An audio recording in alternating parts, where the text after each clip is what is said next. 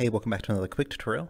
Now I'm going to go over setting a avatar's shader to a different shader on import and after import uh, for those that want to use other shaders on their avatar. Well, let's get started. We're going to hop over into Smooth POV.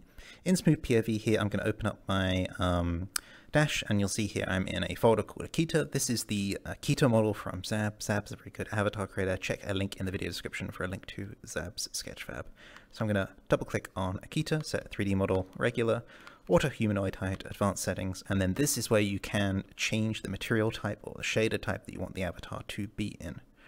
Um, if you were confused about that, there is a more longer form tutorial on how to import an avatar. This is just a quick one to update for the material types. So you can scroll through the material types here and find what you're looking for. Usually people go for PBS or they go for a toon shader. If you're looking for a toon shader, you're looking for Xiexe's toon shader.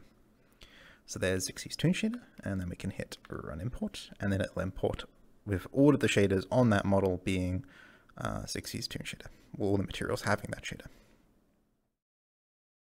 Additionally, once the model is imported, you can also change the uh, shader of the uh, model using the material tooltip. And that's what we're going to do immediately once this spawns in. So once this spawns in, I'm going to go ahead and aim at the avatar's head, hit secondary, and then I'm going to hit uh, edit to prove that it's Xiexe's. So here we go, Xiexe's toon material.